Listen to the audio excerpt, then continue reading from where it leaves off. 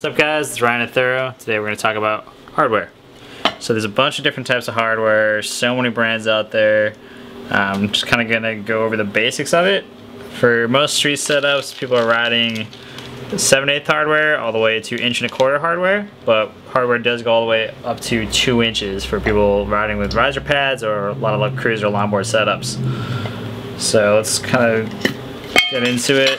So this is Knox Hardware Company cool little tin, kind of supposed to look like pomade.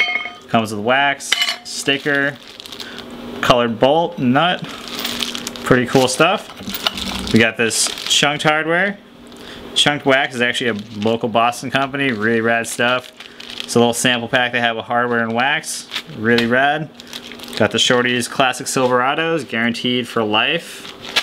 We got Superior Hardware, another great brands. Really good premium hardware, Zoo York Hardware, and a bunch more at thuroshop.com. Check us out.